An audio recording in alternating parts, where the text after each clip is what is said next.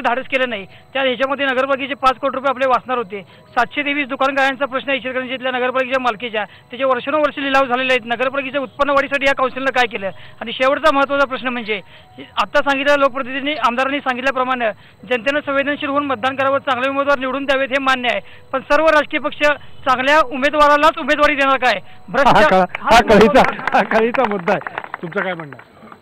एखाद्या नगरपालिकेत टक्केवारी टक्केवारी मी म्हणजे मक्तेदारांच्याकडून किंवा कंत्राटदारांच्याकडून कमिशन स्वरूपात किती रुपये घ्यावे? याला काहीतरी लिमिट असतं. ठीक आहे तुम्ही खर्च करून आलाय.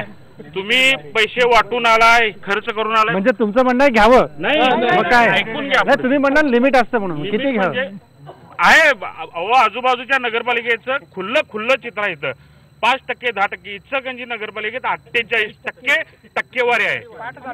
अठ्ठेचाळीस एक रुपयाचं काम करायचं असले तर अठ्ठेचाळीस रुपये पहिला तुम्ही एखादं टेंडर भरलं होतं का? आम्हाला टेंडर आम्हाला भरायला कसं देतील साहेब मक्तेदार नगर नगरसेवकांनी आणि प्रशासनाचे हित हित संबंधी लोकच त्या लोकांनाच टेंडर दिलं जाते बाकीच्या बाहेरच्या मात्र टेंडरमध्ये घुसूनच दिलं एक लॉबीच आहे या सगळ्यांची सत्ताधाऱ्यांनी विरोधकांची लॉबी परवा परवा गणेश चतुर्थीच्या ह्याच्यावर साठ लाखाचा फपुटा रस्त्यावर विस्कटण्यात आला साठ लाख रुपयाचा फपुटा कशासाठी? खड्डे भरण्यासाठी. फक्त हे खड्डे हे खड्डे भरलेच नाहीत. उलट तोच फपुटा आता लोकांच्या दारातनी आणि घरातनी घुसा लागलाय. त्याला जबाबदार कोण? त्याला जबाबदार कोण? तुमचं काय म्हणणं? तर इचलकरंजी शहर हे औद्योगिक शहर असून या शहरामध्ये जेवढे व्यापारी वगैरे आहेत तेवढाच कष्टकरी वर्ग आहे कामगार वर्ग आहेत. ज्या पद्धतीने आपण व्यापाऱ्यासाठी योजना हे शासन दे देऊ इच्छित आहे त्या पद्धतीने गरीब आणि सर्वसामान्य जनतेला काही द्यायची योजना आतापर्यंत या सरकारने केलेली नाही.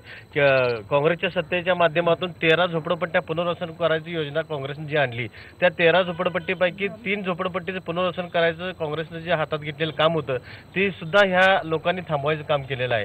जे एक लाख पंच्याहत्तर हजार